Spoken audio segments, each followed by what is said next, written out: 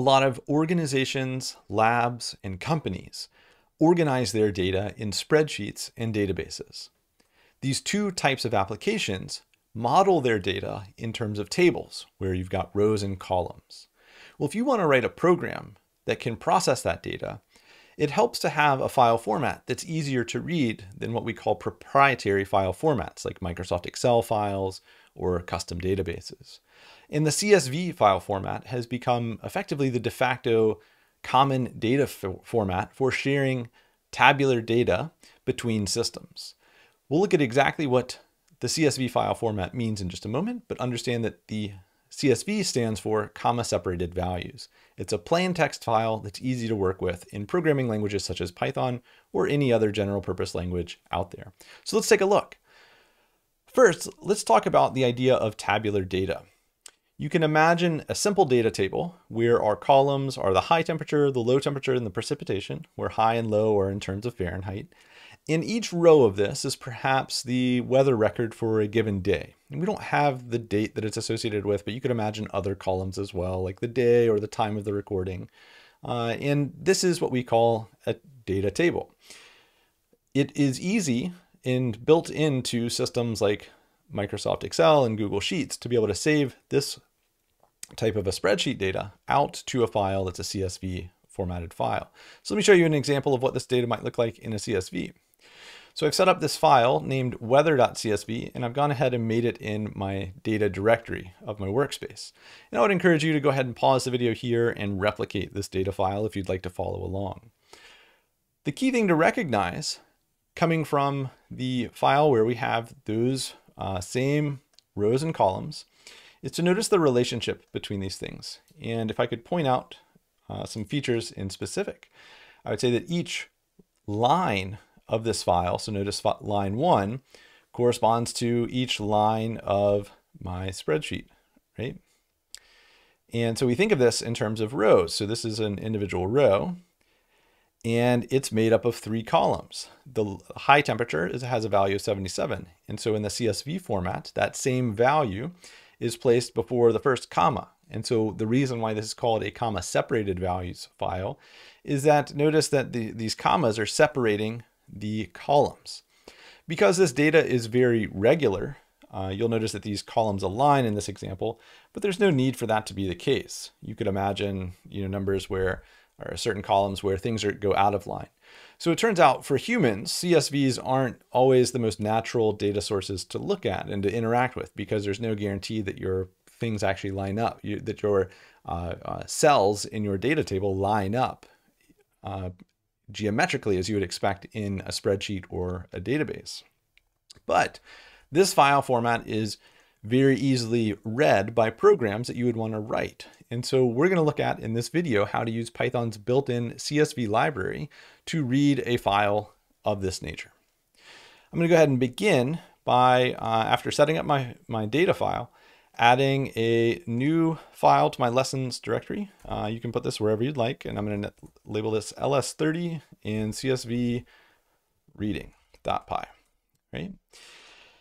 And I'm going to go ahead and import a uh, special function from Python's built-in CSV library. So I'm going to say from CSV import uh, dictionary reader, right? You can imagine that uh, there are many different ways you could read lines of information from a CSV file like this. And one of those is just to read each line and think of your values as individual lists of values or strings that are broken up from one another. Well, in, Python has support for that. In this video, because you already understand what a dictionary is from our previous lessons on the same subject, it helps to think of each row as a dictionary where we have our key associated with some value. So for row two, for example, we would expect a dictionary where high is 81, low is 30, 53, and precipitation is 0.12, right? So this dict reader is going to uh, produce to us, it's going to use that first row of our CSV file to uh, set up the keys for each of the dictionary values that we return for each line. In this example, I'm not going to use a main function and structure this in terms of uh, a full program. What I'm going to do is just present this as a script and encourage you to know and, and, and, emphasize that when you go and use this in a real world uh, program, you should reorganize this uh, to not have everything out in the global uh, scope and to instead use things like a main function and to organize your program in terms of functions. But to quickly demonstrate the features of reading a CSV file in Python, let's go ahead and set up a file handle, which is a going to uh, hold our reference to an open file that we're working with. So we're going to use the open command once again, or the open function, and we're going to open data slash weather.csv. Right? We're going to open it for reading, and the encoding is UTF-8. Right? When we open a file, we always need to remember to close it. So I'm going to say file handle dot close down here at the end. Right? The CSV library's dictionary reader function will produce to us something that is iterable, that we can use a for in loop in order to work with. Uh, so I'm going to go ahead and set up our reader. So CSV reader is a dictionary reader of file handle. Right? So what we're saying here is I want to construct a new reader. And what it's going to do is as we read each line, it's going to remember the first line of our CSV is producing the keys of our dictionary. And then each subsequent line is going to produce an object that is whose values are associated with those keys. Right? So uh, perhaps the simplest way uh, to demonstrate this is to go ahead and say for row in CSV reader, print row, right? And this is a very simple uh, demonstration, but let's go ahead and see what happens here. So this would be uh, how we're able to read through each line of a file that I've stored in a data directory in my workspace, and its name is weather.csv. So Python m lessons.ls30 CSV reading, right? And notice what we get printed back out is each of those four rows in the data set and each is a dictionary where the key is associated with some value. And this is pretty cool, right? We didn't have to write uh, a custom parser or we didn't have to, to read each of those lines and process them ourselves. The CSV library has some built-in functionality for doing this. Notice though that each of these values that's associated with our key is uh, a string value.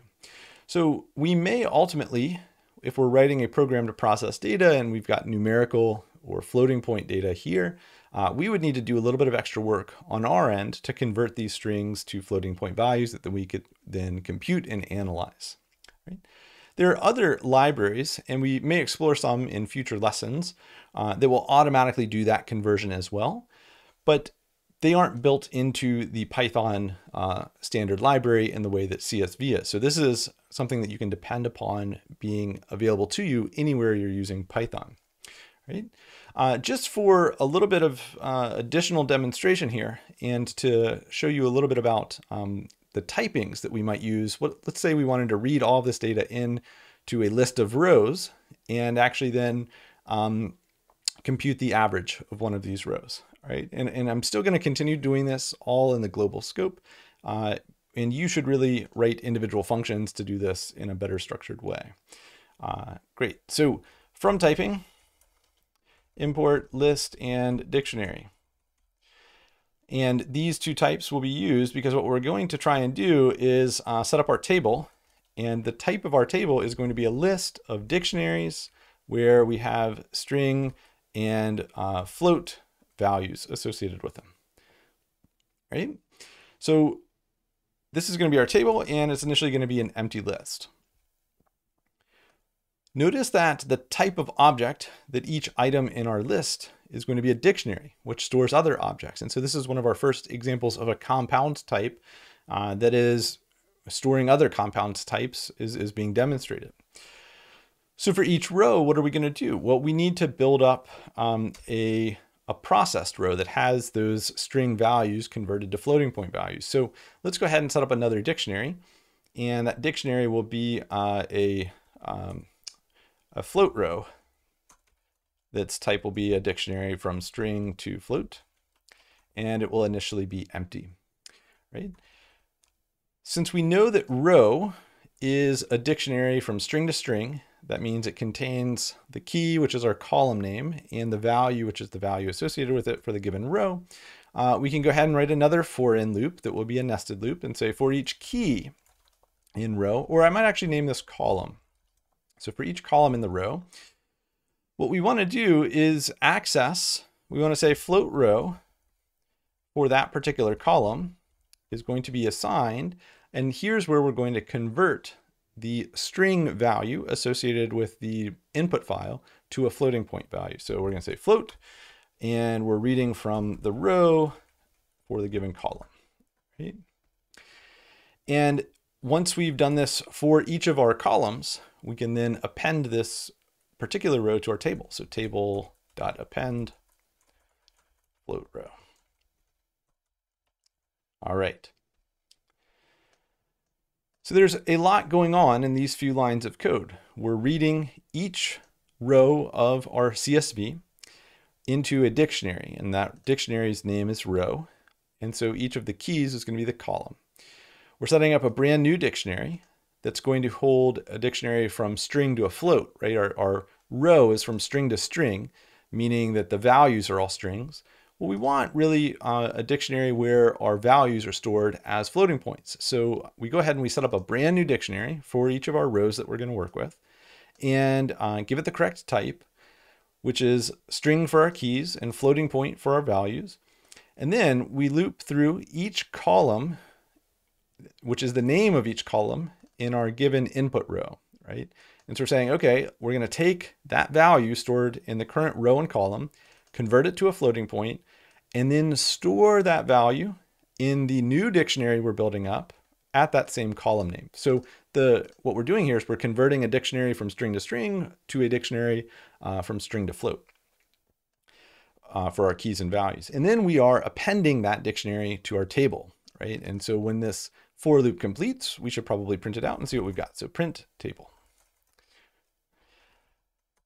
And I'm going to try rerunning this example, right?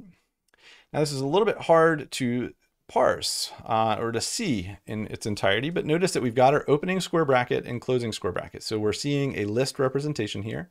And then the first item of our list is the entry where uh, the key high is associated with. And now notice this is no longer a string representation of 81. We've converted it to a floating point, meaning we can now uh, carry out arithmetic operations on it. And the same with all of the other rows. So we now have a list of all of the data in our program that we can then go process, right? And so uh, just real quickly, if we wanted to average, say, uh, the high temperature, we could set up a uh, high sum, which is the floating point uh, total. And we could, uh, let's say, for each uh, row in our table, high sum is going to increase by that row's high key value, right? So each row has a key named high, and we're going to take that value associated with that and add it onto our sum. And then when we're done, we can say print uh, high temperature average is, and we can uh, convert to a string the result of high sum divided by the length of our table which is the number of rows in our table, right? And so I'm just going to scroll this up and clear my screen. And if I were to try this again, we see that the high temperature average was 73 in this small data set, right? And if we looked at the values to sort of desk check 81, 70, 72, 7, 66, uh, I could, if I wanted to in Python, prove to myself in the REPL, uh, 81, plus 70 plus 77 plus 66 divided by 4, 73.5. So I can confirm to myself that uh, this average did in fact read in that file's uh, worth of data and uh, produce some result. Again, doing all of this outside of any functions is not encouraged, but we're trying to just demonstrate in this video the uh, behavior and the capabilities of this dictionary reader in working with uh, a CSV file. To convince you that this is in fact um, reading this particular file, we can add another row. So I might add a row with a crazy outlier value in the high, and, and we could maybe tell that that's certainly not going to be reasonable. Uh, a low of 53 and another precipitation of, let's say 0.1, right? And save my data file. And now notice if I run this exact same program again, oops. So I open up a new terminal, Python M lessons.ls30 CSV reading. We've got a much higher high temperature average because of that extreme outlier I added to my data table. But hopefully you can get the sense that now we don't have to hard code our data into our program. We can read that in from a file like this weather.csv file. And as long as we're working with some software like a spreadsheet or a database that produces CSVs, which just about any program that's responsible for uh, storing and manipulating and, and searching and archiving data can produce a CSV on your behalf. Uh, you can write programs that can begin to process, analyze, chart, and otherwise explore and investigate uh, data coming from those other data sources.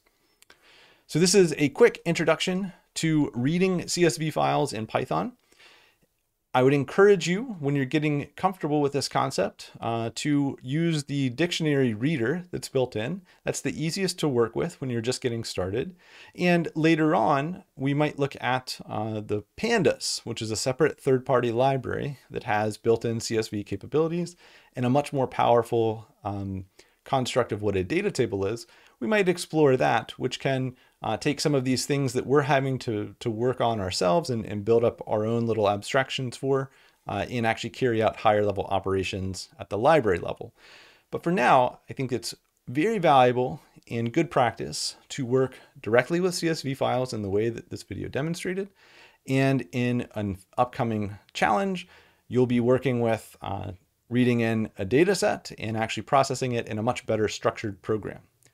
So this is how you can open a file, read it as a CSV, and work with each row as a dictionary where your keys are the column headings and your values are that row's particular items.